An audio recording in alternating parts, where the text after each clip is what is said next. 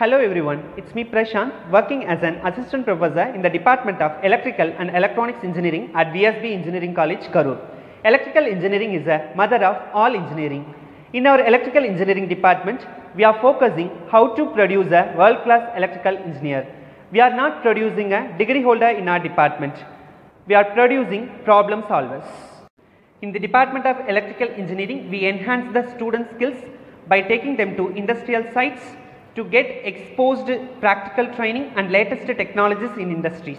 There are new technologies are coming up like wireless charging, robotics, smart grid, electric vehicles, graphene supercapacitors, artificial intelligence in electrical engineering.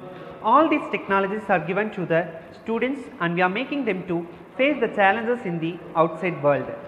Choose the VSB Engineering College for your bright future. The counseling code is 2622. Thank you.